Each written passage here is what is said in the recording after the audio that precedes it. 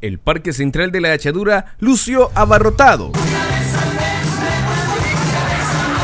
El show de Parodeando puso el sabor en la noche artística, donde chicos y grandes disfrutaron de las locuras y travesuras de estos dos cómicos salvadoreños. Joan, quien viajó desde Los Ángeles para disfrutar de estas fiestas, asegura habérsela pasado de lo mejor. Sí, vale la pena venir de Los Ángeles y venir a ver el entretenimiento. Estuvo fabuloso, muy buen entrenamiento de aquí de la Chadura. Repetido para otro año.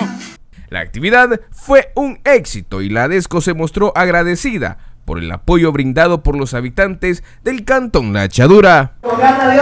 Sí, este, pues por acá estamos nosotros este día realizando esta bonita actividad, ¿verdad?